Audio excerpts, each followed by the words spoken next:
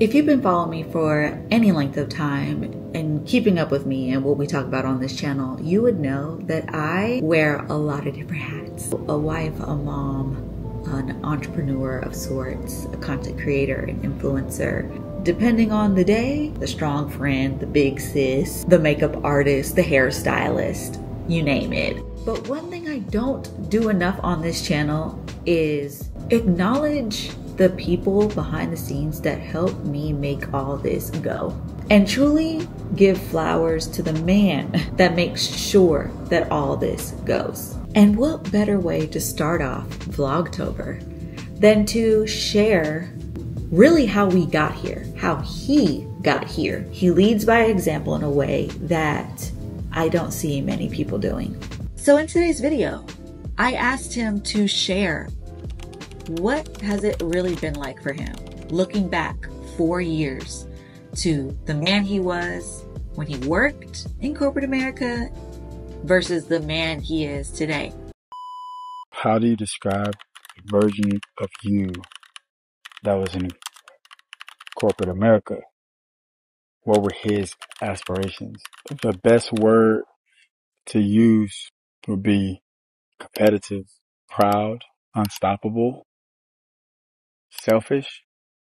And really of those, the only ones that I, or I should say one that I was willing to admit out loud was competitive. I twisted competition into being something good.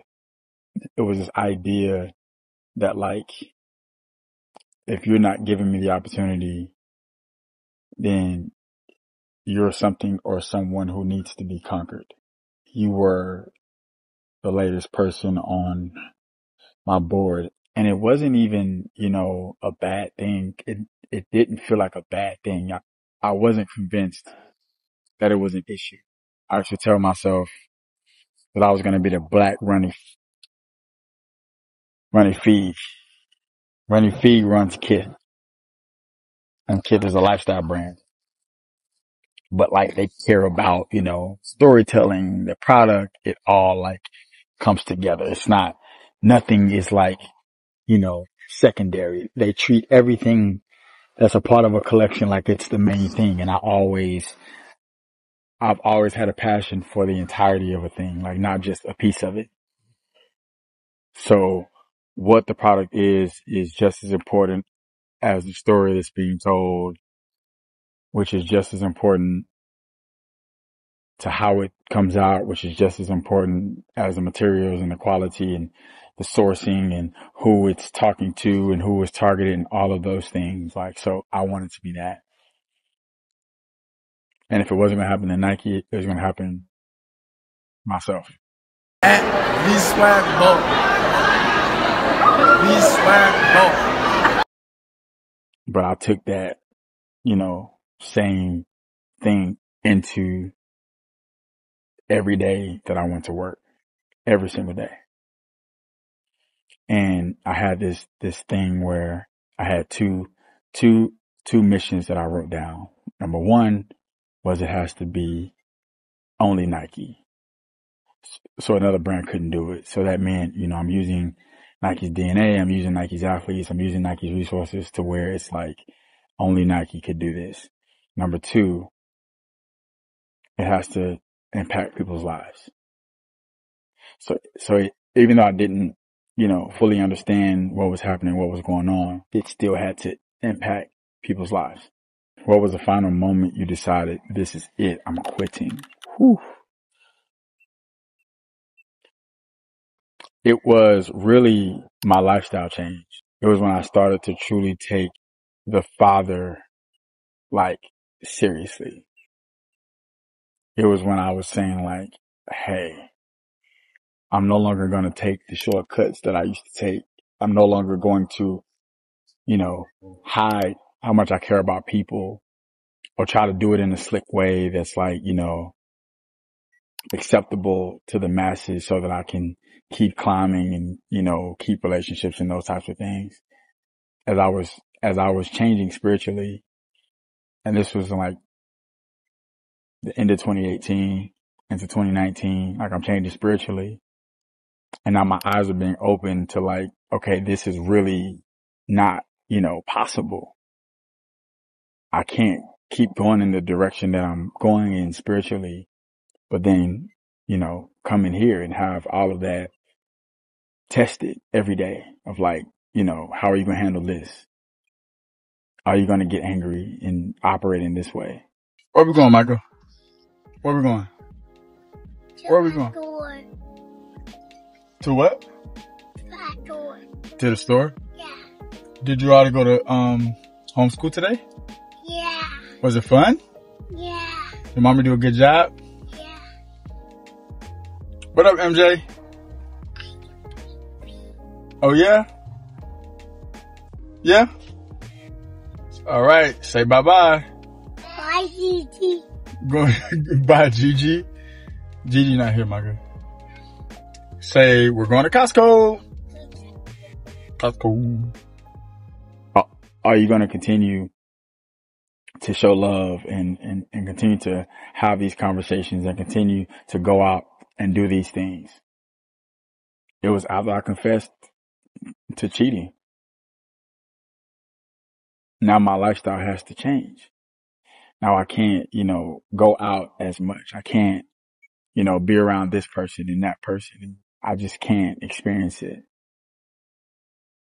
That was when it became like, I can't, if I want to continue the life that I'm trying to build in myself through my repentance, through my seeking the Father and all those things, if I can't, you know, openly do that, then I can't stay.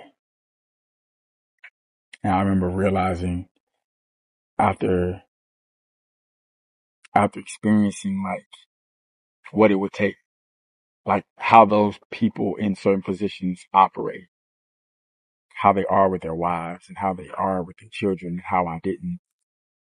I remember one person in particular, I remember not seeing his wife but one time. And when I saw them, we'd had more conversation, like in passing, when it was just him and maybe other people than with his wife. And deep down, I was always, you know, desiring that. I was always trying to see how you could do both. Like how, how can you climb the ranks and be the cool kid and the cool man really? But at the same time, you know, keep it together at home. Like I've always sought to do both. And so I would seek different men, specifically black men who I thought was doing that.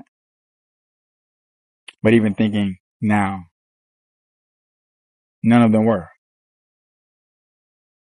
But I was blinded by the power and the position and the company that they had that like I I couldn't even like the writings were on the wall, but I was choosing to ignore. them. So it wasn't like a final moment per se. It was a lot of moments. Well, okay. Final moment was I remember not getting a job at a position that I knew I deserved, that I was, you know, well qualified for and all of those things because of the politics on the inside. And I'm not a politician. I don't care for politics at all. I believe that your yes should be yes and your no should be no. Like do what you say you're going to do. As much as we trust his word, I believe that he should be able to trust ours. And I remember it was the day after Thanksgiving in 2019. And, um, we were sitting in our, our kitchen and I got a phone call about the job and I'd already known I didn't get the job, but it was like, uh, they couldn't tell me why. And it was almost like they were taking control of my career. It, was not up to me. And it was probably like that for a while, but that's when it hit me. Um, I, I got off the phone. I said, babe, you heard that? Like, this is what I'm up against. We talked about, you know, God wants me to leave. What do you think? And you said to me, you said, if God is telling you this, then I believe it. Do it. That was a Friday. On Monday at 5 p.m., I sent in my letter of resignation. Do you ever question your decision? Oof. Um, I've questioned my decision when we've fallen into, you know, financial issues or times where I felt like if I was, if I still had that career, especially where I would be now or then, um, we wouldn't be in this predicament or in those predicaments. So really it's only those times or times where people say certain things or, um, you know, try to use me not having a corporate job or nine to five, trying to use that against me. It's in those moments that I second guess myself. Um, I used to have a friend that would hit me up about different opportunities or different, you know, things that are out here that I could easily do. And because of those things, yeah. But every single time, every time it happens, the father confirms where he has me. Every single time. And really like most of the times that was happening was early on and like Jade, you were big with that for me because you would remind me of, you know, what I do every day spiritually and how I wasn't being judged by you based on, you know, how much money I brought in or any of those things. So really it's when the things of the world come and I'm, you know, I think about that. Other than that, nah. So do I ever question? Yes. But it's normally out of a place of, um, outside influence, not from the father. Did you try to go back? I flirted with it before. You know, people reach out with different opportunities and it's like, oh, that sounds good. I could do that. And depending on what's in our bank account, it's like, I could use that check. But try? Nah. Because number one, I could feel that it's not in the father's plans for me right now. And the longer I'm out, the closer I've gotten to him. And back when I used to try to, when I would say like, oh, I want, I want to change, change the world with this collection. I'm to change this world with this t-shirt. With where the father has me now, I, I'm actually doing that.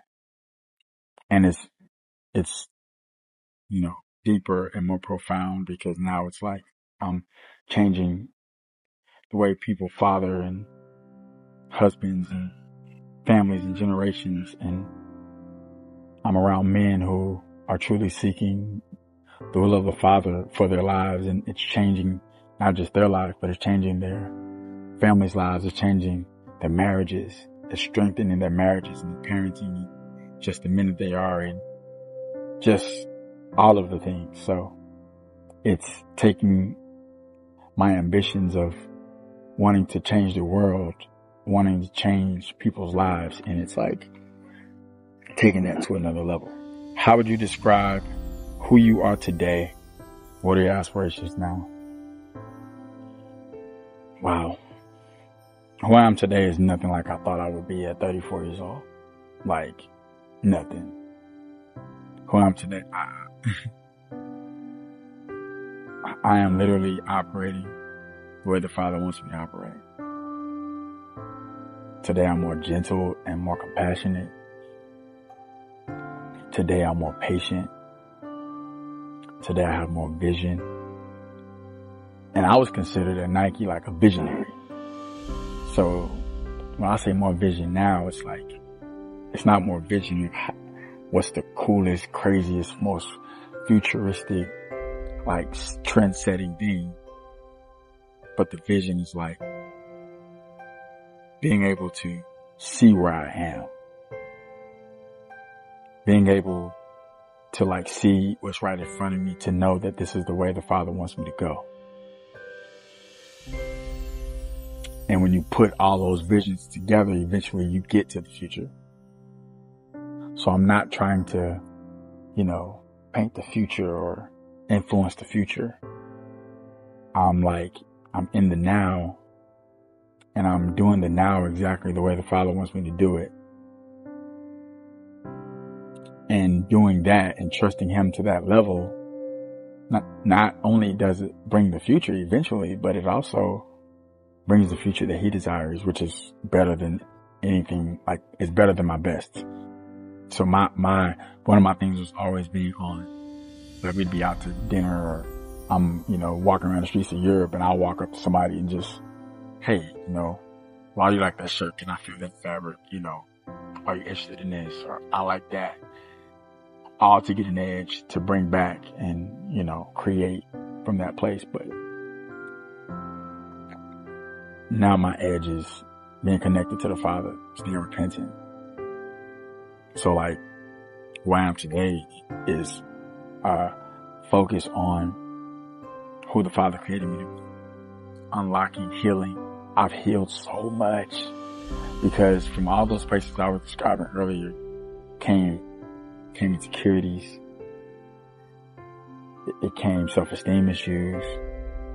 I overcompensated in so many ways. I was looking to everything and everywhere but the Father for validation.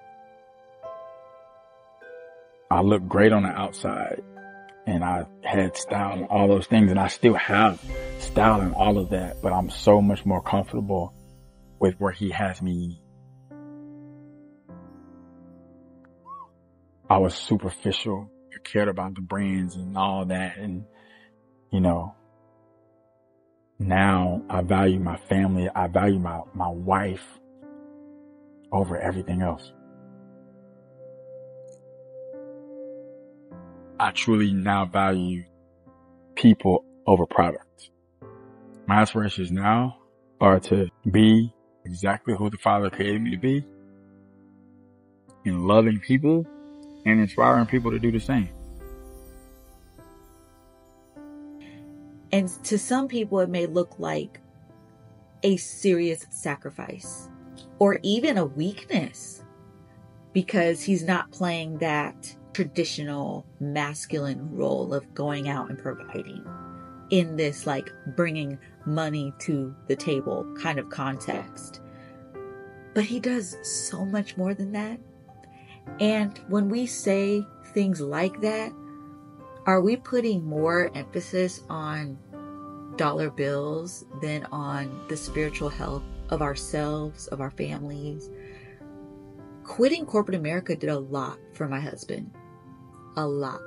Quitting corporate America healed my husband. Was it the single factor in my husband's healing? No, God was. It wasn't until he left corporate America that he was able to actually hear God clearly about who he was as a person and what he was actually supposed to be doing with his life.